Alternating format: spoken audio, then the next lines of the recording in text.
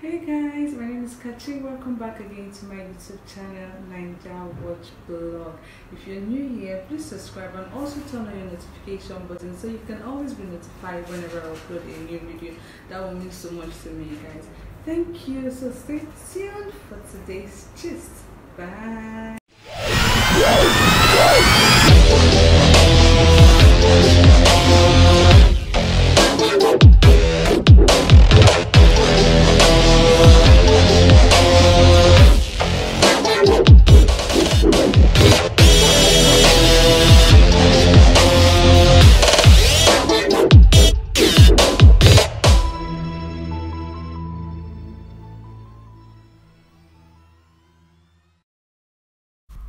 Alice Iyabo Ojo is a Nigerian film actress, director, and producer.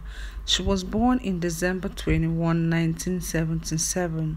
She has two beautiful children named Festus and Priscilla Ojo. Priscilla Ojo, known as Prissy, is considered to be a celebrity kid as she is very influential on social media platforms.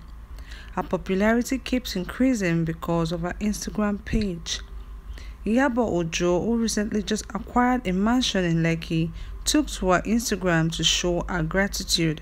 She said, Finally, God has done it. Priscilla also took to her Instagram page to congratulate her mom. She also said, Whoosh, congratulations on your brand new house, Mama. I'm so happy. You deserve it. I can finally say we have a house. Hmm.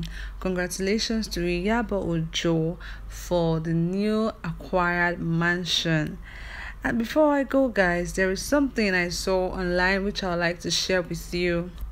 And it says, Dear man, if you perform a DNA test on your child and he or she ends up not being your actual child, punish the mother, not the child.